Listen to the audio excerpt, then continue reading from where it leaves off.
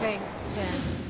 It's been nearly two months since 19 children and two teachers were killed inside an elementary school classroom. The act of violence and the police response or lack thereof sparking outrage across the Uvalde, Texas community and the nation. In a few days, Uvalde's school board is expected to announce the termination of its police chief, Pete Arredondo. He's been on leave since June 22nd. The fallout from the shooting at the elementary school in Uvalde has 8 News taking action tonight, digging into the security features and practices in place in schools here in Central Virginia. 8 News reporter Olivia Jaquith joins us live in studio tonight. Olivia has been working to find out how safety measures in schools measure up to what we see in local government buildings. Olivia, what have you found? Yeah, well, Deanna, in the wake of school shootings and other tragedies across the country, we have to ask the question, what is being done to keep students safe? I've been visiting government and school, school buildings throughout the greater Richmond area to find out what security measures are in place and who is most protected. Restricted access, walk-through metal detectors, armed security, and several surveillance cameras. A fortress of safety measures that come standard at Richmond City Hall, protecting the adults who work inside. But what's being done in the schools to protect our children? Here's former police chief Mike Jones. With the light of all the events, both schools and government facilities and private facilities are taking a new look at an old problem. With four decades of law enforcement experience, he now serves as a security consultant in several localities throughout Central Virginia. Increases have quadrupled in the last three weeks. The, the school system have, has the very basic minimums locked doors, vestibules that have access card control, as well as visitor sign in and out. With all these protections at City Hall, Richmond Public Schools may look a bit different. The buildings are always supposed to be locked with a single point of entry featuring a doorbell and security camera. Metal detectors only in place at the high schools. Meanwhile, in Chesterfield County, the school board received a June update to security happening throughout the division. It includes access control equipment like card readers in all schools.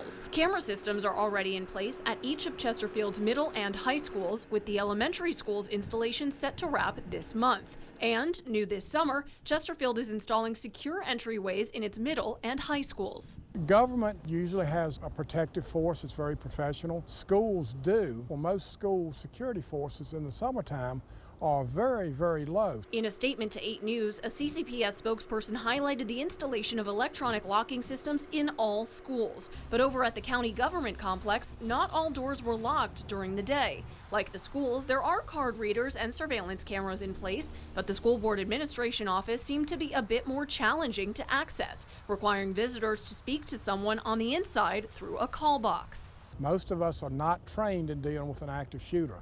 So the more automated equipment we get that doesn't have the emotional aspect, the quicker we can concentrate on what we need to do. In Henrico County, a spokesperson said they are not able to discuss security measures, but a visit to the Western Government Center revealed security cameras and call boxes, with more features centered around the law enforcement part of the complex. And in the schools, especially middle and high, you'll find cameras and buzz-in systems and school resource officers. In Hanover County, several cameras could be seen outside government buildings, but a spokesperson says they are not actively monitored.